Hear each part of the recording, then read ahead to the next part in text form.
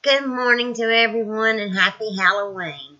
Coming to you this morning to show you my Halloween outfit. It's the same one that I wore last year.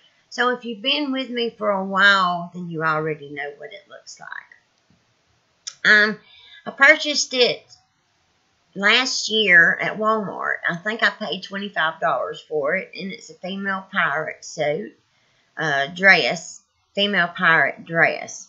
So this is the bandana that came with it. And I love the little dress. And this is the dress. And I love the fact that it has little coins to trim it out. I actually jingle when I walk. And it has skulls on the bottom.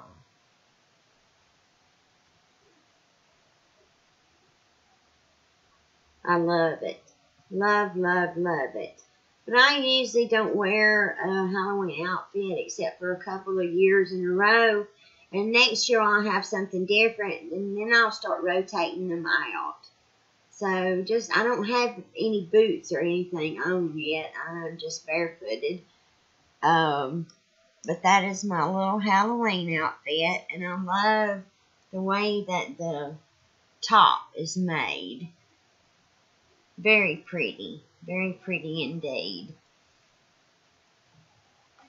I hope that everyone has a safe evening, that you get lots of candy, you, uh, you get to get into your kids' candy and get lots of candy.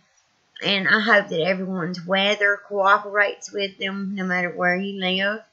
Um, just try and be safe out there you know, there's going to be a lot of people out and a lot of celebrators out as well. And uh, don't drink and drive.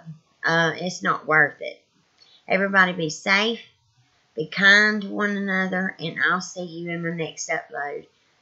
Bye bye, everybody. Happy Halloween.